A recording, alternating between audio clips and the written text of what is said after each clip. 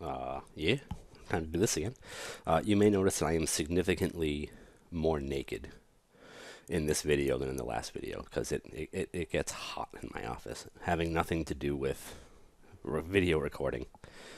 It's, it just gets hot in here. I don't know. I don't understand it. Uh, anyway, um, I want to talk about another thing that can be particularly difficult to track down in the plan cache, and that is when uh, you have a parallel query that experiences exchange spills. Now, this query runs for quite a while.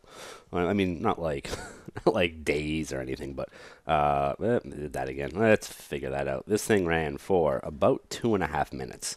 Uh, now, again, I, I, run this ahead of time recording, and I have the the plan saved off uh, for the long running stuff, um, so I can just bring them up if I'm doing this live. But I'm not always so lucky with the two and a half minutes. Uh, there, there have been times when this plan has run for seven minutes, which would be disastrous if if I tried to run this. Um, if I tried to run this in front of people, so uh, that's that's no fun at all. Um, anyway, let's look at this plan and let's talk a little bit about exchange spills and why they happen. Now, one of the most dangerous things that you can you you can do in computers is uh, when you have threads with dependencies on other threads. It is not a good time for anyone. Uh, in this case, um, the dependencies come from ordered inputs.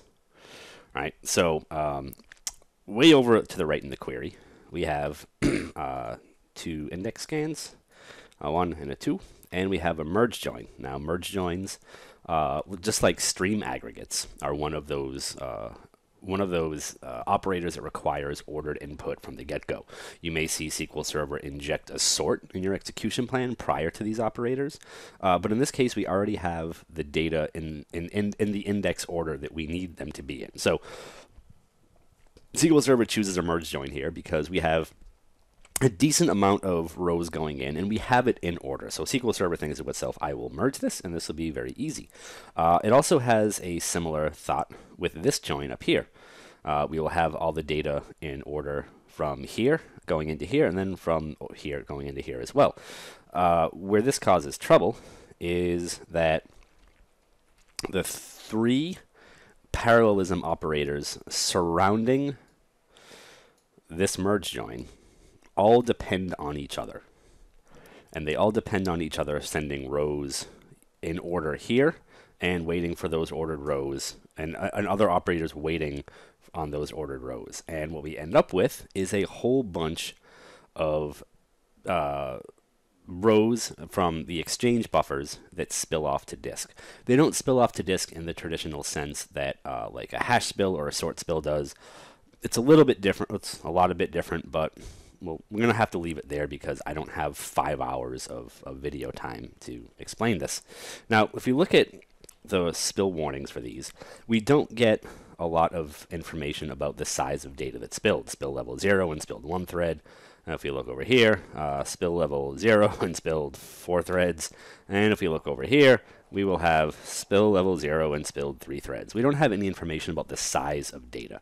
Um, so this is all bad news, right? If we look at this plan, we have 30 seconds. Uh, well, let's see. This is again, this is a row mode plan. So the costs are cumu- the the timings are cumulative, going from right to left.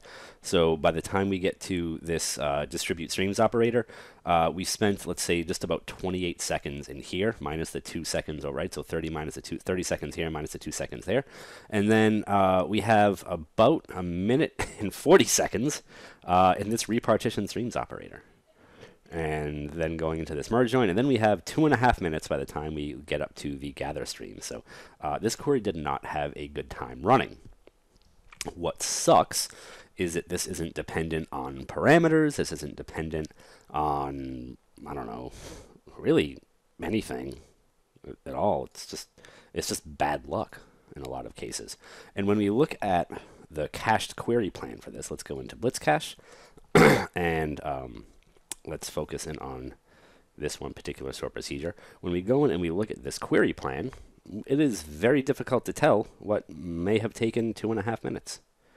Right? I mean, we see some pretty big lines there, uh, and there's you know so certainly certainly some things that we, we could think about doing to to make this query better, but there's nothing I think obvious about why this might sometimes take two minutes, sometimes take seven minutes, and then other times finish instantly. If we look over here a little bit, though, in the warning column, um, we see a couple warnings here. We have uh, some spills, and we have uh, the fact that it's a select query that caused writes. And if we scroll a little bit over in Blitzcache's output, uh, we'll see that we spilled quite a bit of data out of there. So we spilled about 2.5 gigs of data out to TempDB, which is a great time, right? Woohoo! We spilled 2.5 gigs of exchange buffers. Yay! That sucks. what sucks even more is, again, looking at the query plan, there's no obvious indication that the exchange, that these, you know, exchange operators are what spilled that there where, where we had a lot of trouble doing things all we see is that uh, we had a big parallel plan and for some reason sometimes it runs for two minutes and sometimes it runs for seven minutes and uh, you know what's what's sort of interesting is that the I mean the, it's a parallel plan and the total CPU is uh, a bit less than the average duration so that might give us some clues. That's like kind of like one way to figure it out.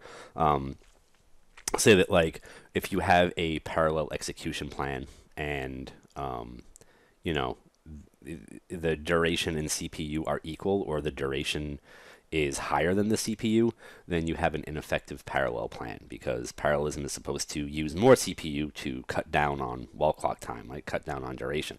So here we have kind of the opposite thing happening where we spend, I don't know, like an extra 50, like an extra, actually an extra like minute uh, of duration over CPU time. So that's one way that you could kind of start picking this apart. But um, you know, this is I would say a, a, rather uncommon problem, but it's still something that I felt like I should include in here. Anyway, uh, that's about it for uh, parallel exchange spills. I am going to talk about um, when parallelism operators uh, are troublesome even without spilling in the next video. So we'll look at an example of that, and I will see you there.